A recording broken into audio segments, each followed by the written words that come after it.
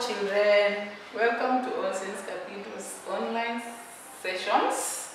And today we are looking at religious activities grade 3. We want to continue with the lesson on the Holy Spirit. The, in the previous lesson, we were talking about uh, how the Holy Spirit can help us.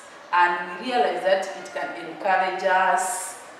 He can also help us to share. It- He can also help us to make decisions.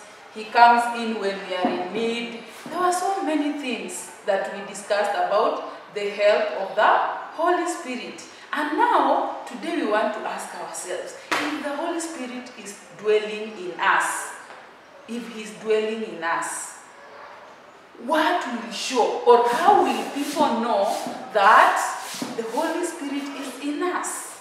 Now, today I want to tell you something. When the Holy Spirit is dwelling in you, there are some things you will do that will make people say, Oh, this one must be having the Holy Spirit. It produces some fruit, okay?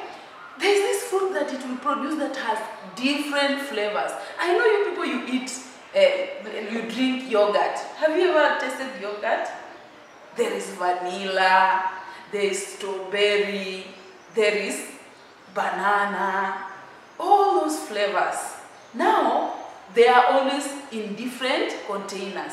But now the fruit of the Holy Spirit is packaged in one. When it come, comes in your body, it dwells in you.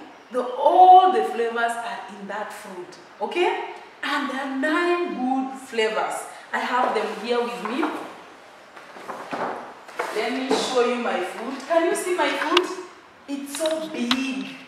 So big. Look at my children here. And they have different types of fruits here.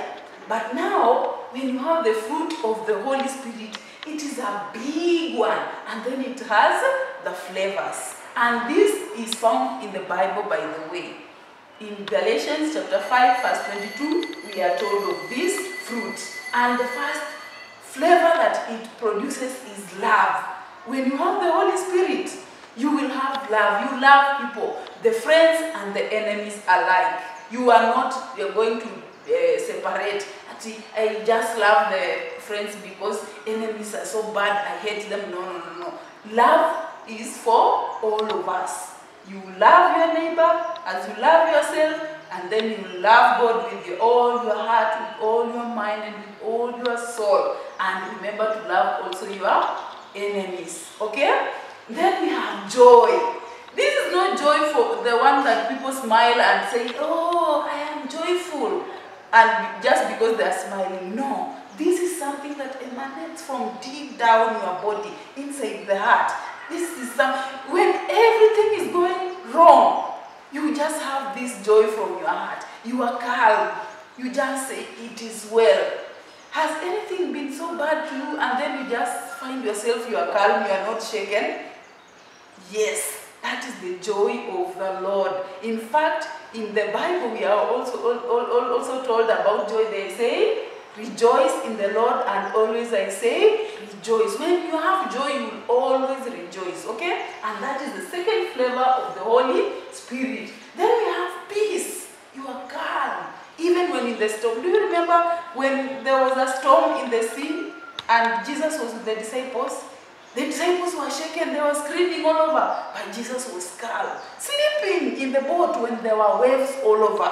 Yesterday in the news, they told us about the boat that capsized in, in Lake Victoria and people died. But remember, in the boat where Jesus was, he was calm. He slept until they had to woke him up, and he told the storm, "Keep- Be still. And the storm obeyed him. So we have peace when we have the Holy Spirit in us. Then kindness. Kindness is when you say things that will not hurt people. You are there for the people who need you. You are always doing something good for somebody. You are not harsh, you are not rude, you are not selfish. That means now you are kind. Then we have humility. Humility also is gentleness. Okay? So when you, you are humble, in fact, the Bible says, when you are humble, you will be lifted up.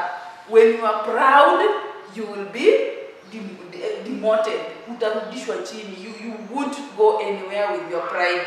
But when you're humble God, God will lift you up. And that's one of the fruit of the holy spirit. Then you have goodness. You are doing good things to everybody and to yourself. Remember do not forget yourself.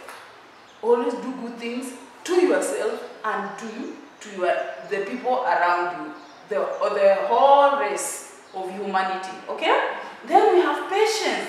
You are not rushing to do things. You don't rush to speak. You don't rush to act. You are always patient. And patience pays. Then you have faithfulness. You are not a person who do things that are not right. Faithfulness means you are honest you obey God, you have faith in God that things will be okay, that He will do what He has promised us, that He will do. Then self control is saying no when you really need not to say no. For example, you are so hungry, so hungry, and your mother or father has said, Do not touch this money. Then you are tempted to take the money to go and buy crisps or to buy chips mwitu. Then you remember, my dad said I should not take the money. So you control yourself from taking what you've been told not to take. Or you control yourself from doing that which you are not supposed to do. For example, watching cartoons. You are always tempted not to do your classwork or house chores so that you can watch cartoons. But then, when you have self-control, when you see that remote, you say, no, I'll do the right thing. thing. So, you control yourself from doing the wrong thing and uh, you decide to do the right thing. That is self-control. And those are the flavors I was talking about. Okay, children? Now I want to sing you a song, a small song. Okay? So it, you, it goes like this. Love, joy, peace. Love, joy, peace.